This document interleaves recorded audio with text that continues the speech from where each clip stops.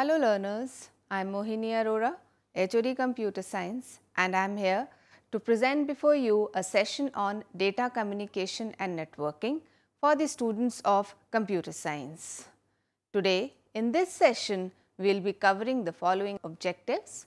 We will be learning about the basic elements of data communication system. We will be describing protocols and transmission modes. We will be learning about networks, how to use networks, different types of networks and various network components and terminologies. We will also on the final end understand various types of network topologies and architectures. We will also be covering various transmission media that are used in forming the network. So, first and foremost we begin with data communication. What is communication of data? Data communication is transmission of data from one computer system to another. We all know that in today's world we require to share data, to transfer data from one machine to another, from one user to another. So, today in this session we will be covering data communication that is transmission of data from one computer system to another.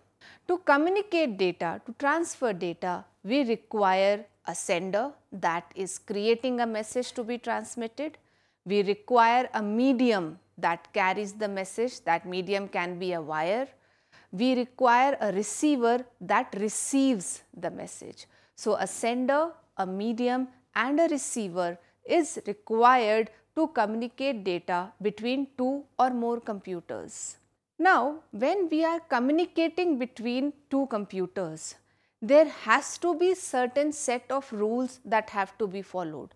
Say for example, if we want to communicate between each other, if two people, two students want to communicate between each other, certain protocols, certain rules have to be followed that we should understand the language that we are speaking.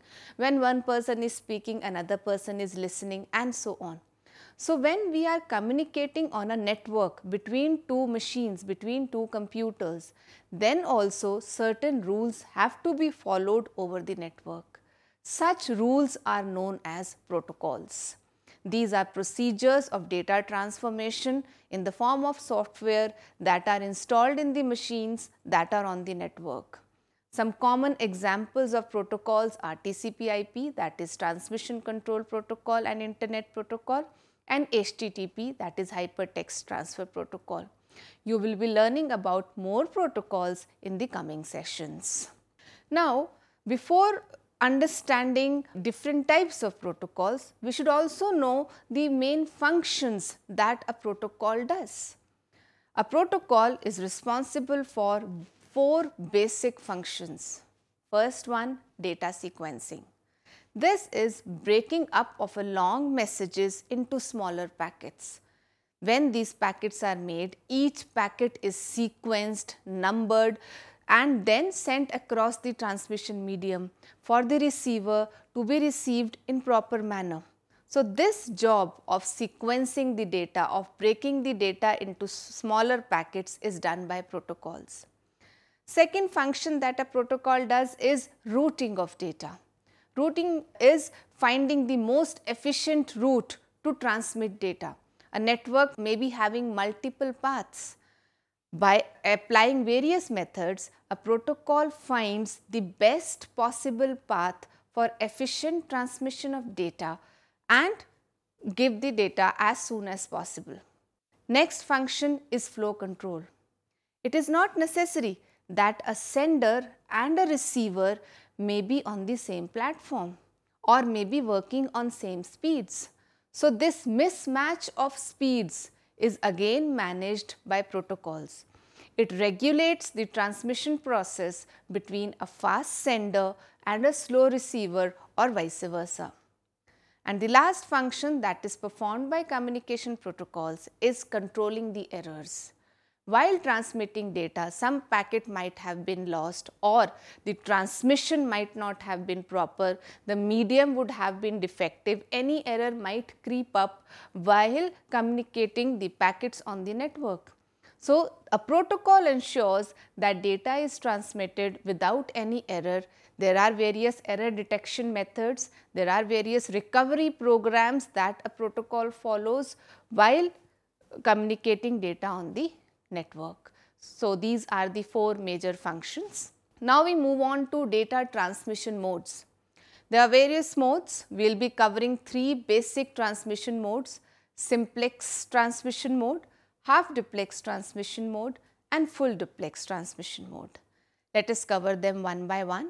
First, we move on to simplex transmission mode. As the name says, this is the simplest mode of transmission.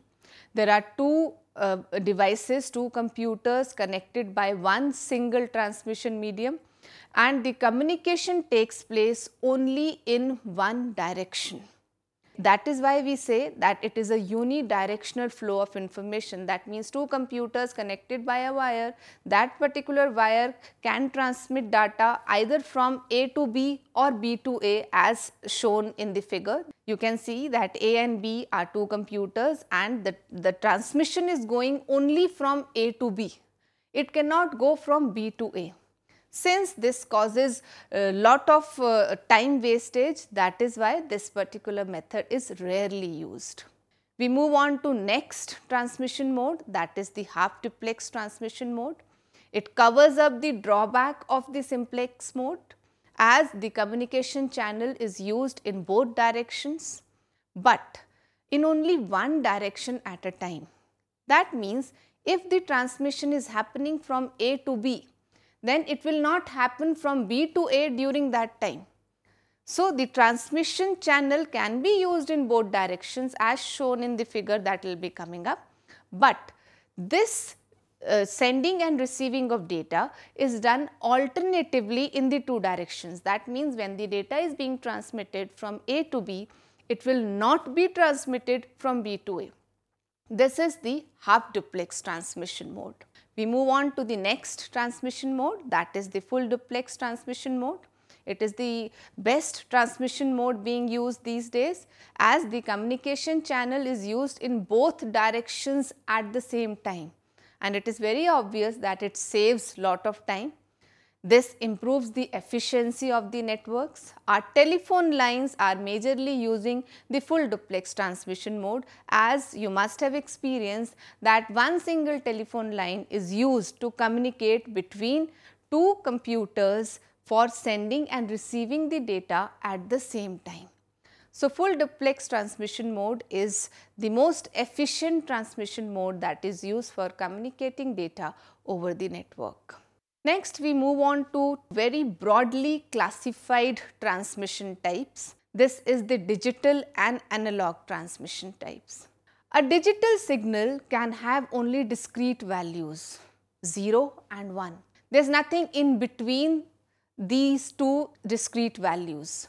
On the other hand, an analog signal varies over a continuous range with respect to sound, light, radio waves or time. So today in our computer networks, we are basically following the digital transmission mode that is the discrete transmission mode. The screen here shows both the waves, the digital signal and the analog signal. You can see the difference between the waves. A digital signal is either having a high or a low, a 1 or a 0. There is nothing in between them. On the other hand, an analog signal slowly moves from 0 to 1 and vice versa.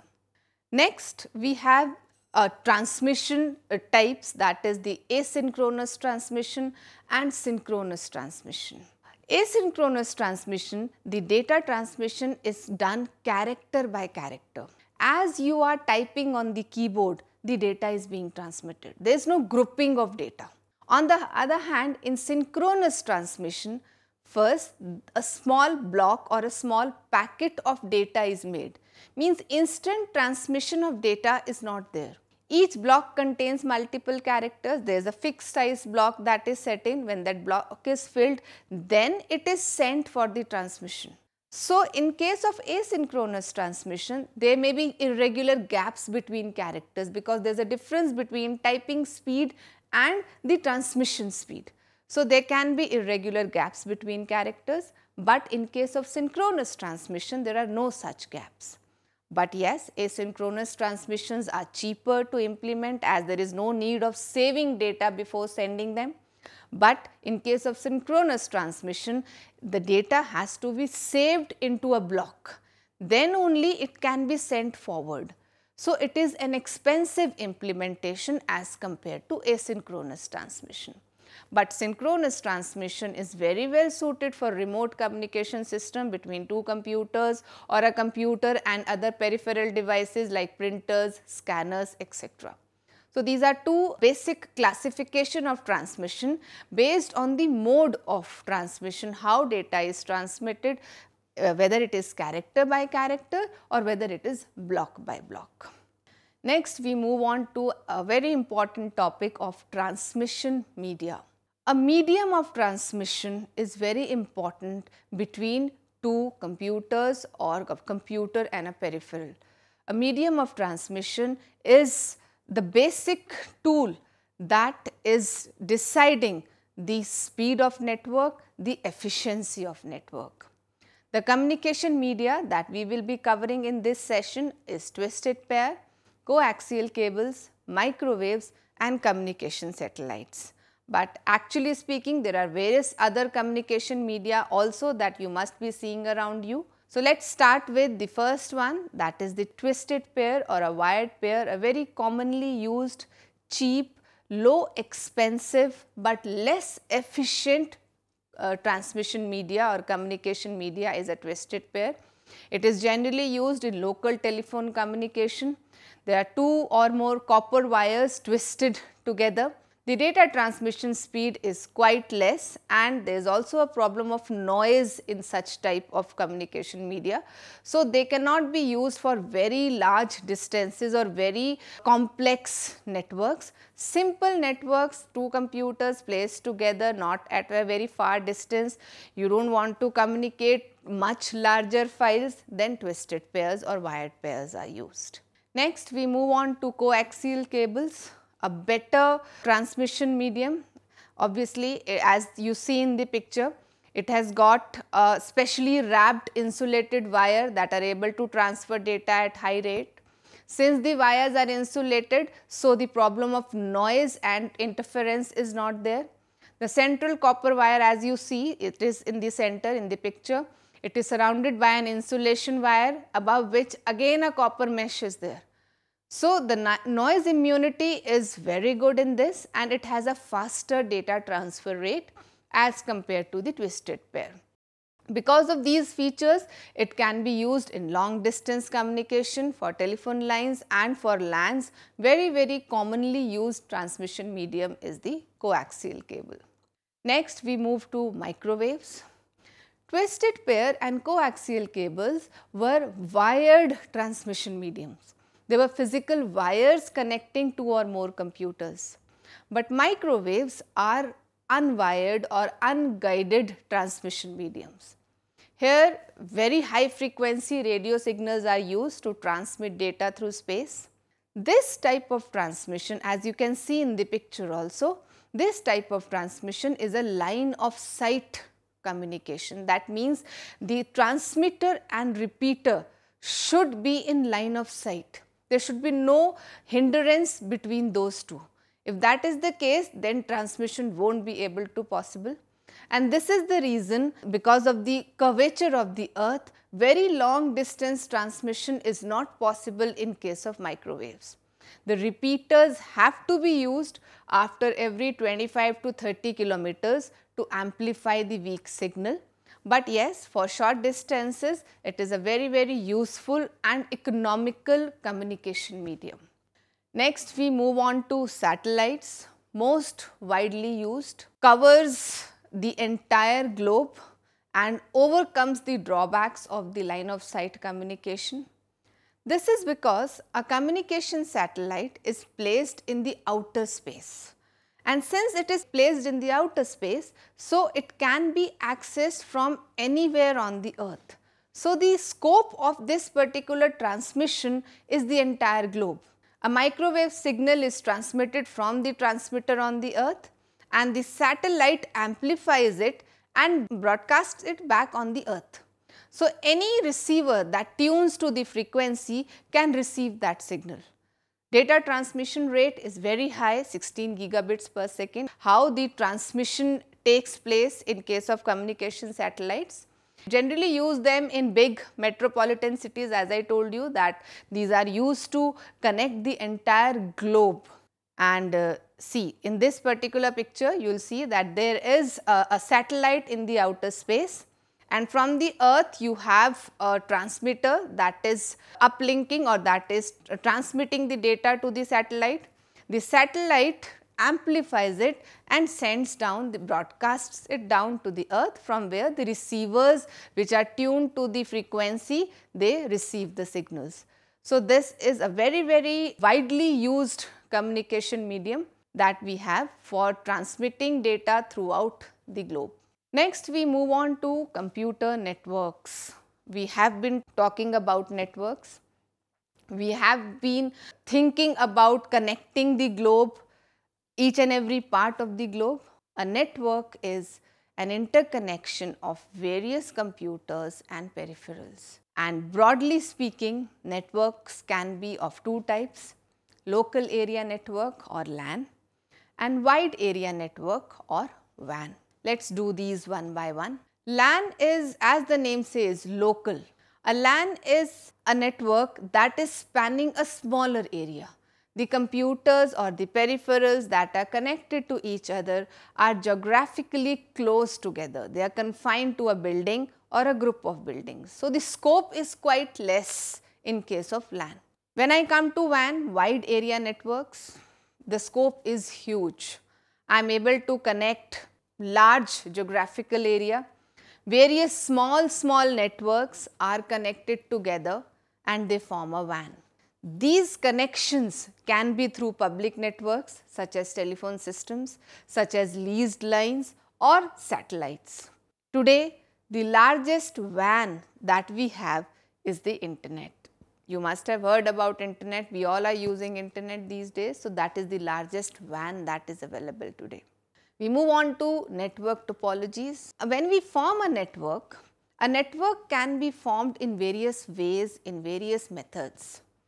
We can arrange two computers, two or more computers in various types. So, a topology is geometric arrangement of computers in a network. I can arrange the network in star topology, a ring topology or a bus topology. When I talk about star topology, as you can see on the screen also, there is a central computer, we generally call it a server and all other computers that we call node or workstations. These computers are connected to the central unit. So, entire network is dependent on the central unit. There are various positives and negatives of star topology the central unit has the entire node of the network that is the disadvantage but it is very easy to add or delete a node without affecting the entire network in star topology. It is a big advantage of star topology. I want to delete a particular node, I need not stop the entire network. Next we have ring topology. Just like the shape of a ring, the shape of a circle, the computers are connected end to end in a closed loop. There are no central hosts, there are no central control units, there is no computer on which entire network is dependent. So, the messages travel in the form of a ring means if A wants to send a message to B, it will travel across the ring and when B receives the signal, it takes it, rest all ignore it. So, this particular network can span over larger distances because they are being connected end to end. So, they can be spanned over larger distances that is the advantage of a ring topology. Moving on to bus topology. Bus topology is similar to ring network. The only difference is that in case of ring network, the first and the last computers are also connected to each other. While in case of bus topology, the ends are not connected. There is a central bus there is a central channel through which all the computers are connected, but there is no connection between the first computer and the last computer. So, this is what is a bus topology. Again a very simple topology, easy to implement, easy to manage. We move on to next topic that is the network architecture. This refers to the software, hardware or combination of hardware and software that forms a network. We have two basic types of network architecture. One is peer-to-peer -peer architecture and we have the client server architecture. In case of peer-to-peer -peer architecture, all computers in a network that we call generally the computers in a network are called nodes or workstations. So, all nodes or all workstations are equal. They have equal capabilities, they are of equal composition and they share equal responsibilities. These are simpler networks, very less expensive and easy to implement. But when the network load is heavy, means there are too much communication taking place on the network, then they do not perform very well. That is the drawback of a peer-to-peer -peer architecture. We move on to client server architecture. In this particular architecture, each computer that is there on the network is either a client or a server. Now, a client is a regular computer performing a regular job. On the other hand, servers are powerful computers dedicated to a particular job for example, a, a server that is managing disk drives is a file server. A server that is managing printers is a printer server. A server which is managing network traffic, user authentication, giving rights to the users is a network server. So, a server is having a particular task to perform to which it is dedicated. On the other hand, client is dependent on the server to do its job. So, clients are less powerful computers on a network as compared to servers and they can run an application, they can use a particular uh, device only if the server gives them authentication to do so. So, this is what is a client server architecture. It performs very well, it is a very efficient architecture. As I told before, clients can rely only on servers for resources. So, it is more secure as compared to peer-to-peer -peer architecture. When we talk about networks, there are certain terms that we are using quite commonly on a network. And as we discussed before, internet is one such term. We studied before that internet, the largest WAN is internet and WAN is connection of small, small LANs. So that is why internet is a network of networks that connects all computers across the globe. Today, I can communicate with any machine anywhere around the world through internet. Next term that we are very commonly using these days is email which stands for electronic mail which has replaced all other modes of sending messages. Very widely used feature, instant messages can be sent immediately they can be saved, they can be received on the inbox, we can read them any of the time. So, this is what is email. Then we have voice messaging. Voice messaging is audio messages sent via internet. When you are sending not text, when we talk about email, these are the text messages. When I talk about voice messaging, these are the audio messages. So, when you send audio messages that are being recorded through the microphone on the internet then this uh, corresponds to voice messaging. Next term that we have is e-commerce, electronic commerce, business through the internet. So, e-commerce is paperless exchange of business information using electronic means. When I am buying and selling products or services using the internet, I am using the e-commerce uh, feature of the internet. Next commonly used term is the electronic data interchange or EDI as we say in short form. This is the computer to computer exchange of business documents in standard format which are very very highly structured.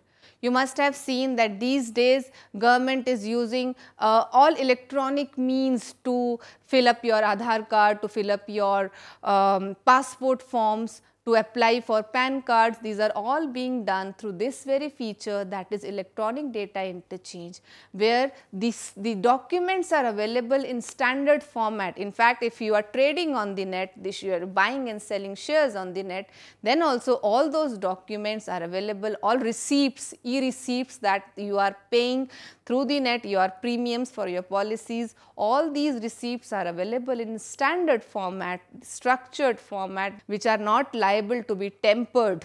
So, we are doing electronic data interchange. And we also are hearing quite a lot about teleconferencing. That means the electronic meetings where multiple people are involved. Those people are not physically present together, but they are able to communicate with each other, they are able to hold discussions on each with each other on a particular topic sitting at their own places. This is what is teleconferencing.